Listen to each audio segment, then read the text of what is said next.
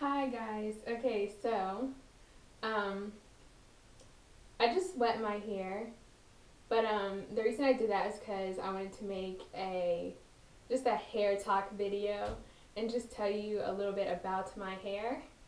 Um so this is what it looks like when it's just wet and like my hair has been up in a bun for like 2 days and I just haven't done anything to it because I haven't really gone anywhere. Um and it, I mean, it has some leftover products from my uh, last braid out, but there's not really anything. I mean, it's kind of dry.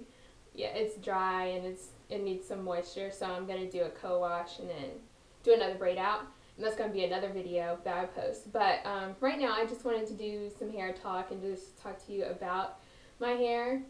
Um, I don't really know what the texture of it is. Um, okay, well, first of all, my ha- my hair texture is very strange because it's kind of different all over my head. Like in the back, um, I don't know if you can see, but the I don't know the curls are a bit like tighter. Um, I don't know how to explain. Like they're really tight and kinky in the back of my hair. Then when you get to the front, it's like you see this kind of stuff here, that business, it's more like wavy and weird. Then the roots of my hair is really what gets me. The roots of my hair is like so thick. So thick. Um, and it's a really weird curl pattern. I don't even know how to describe it.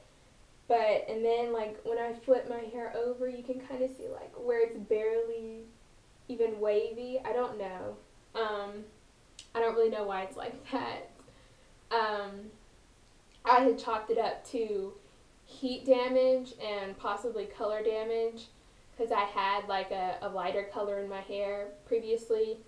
But um, I don't know, my color's going back out and I also had put in a rinse after that, like um, around Christmas, I guess.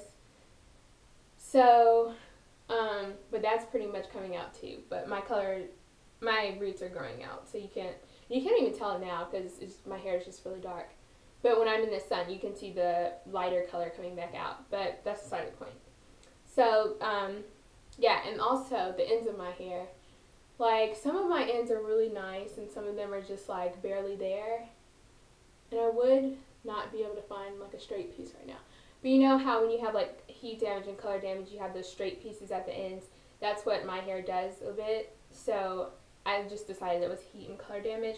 And I've been trying to like nourish it and treat it better, but I mean, I guess it just takes time. That's kind of one of those pieces. I don't know if you can see that. It's kind of straight and weird. But uh, my hair is also extremely dry right now, like I said, because I haven't done anything to it. So it definitely needs some TLC from me. Um, but my hair has always been um, long. Um, it's at the longest part the longest part, the longest it's been is probably like almost touching my butt, like lower back. And um, that was when I was a bit younger. And then as I got taller, like my hair, of course, isn't touching my back or touching my butt anymore. But it's always been at least mid back. But when I was in 10th grade, I chopped my hair off. And I think I mentioned this in another video. But I chopped my hair off to like um, up here and biggest mistake of my life because I hated it so much and I regret doing that. But um, I mean, it's grown back out since then, but it was just a huge mistake. And so now I like, I really don't cut my hair. I trim it sometimes, but I don't trim it often because I don't. I'm just, and I hate going to salons because they like to chop your hair off as well, and I don't want my hair chopped off. So, um, and that's also when I started doing my hair myself because, um, which at the beginning probably was a bad idea because I decided to chop my hair off, but um, I like doing my hair myself now because I know my hair and I know like what I like and I like to keep it that way. Um, but when I was younger, my mom used to do my hair all the time. Um, I guess I should talk about my my journey to natural. I got my I was natural until the summer before eighth grade. That was when I got my first crack, cream crack, perm.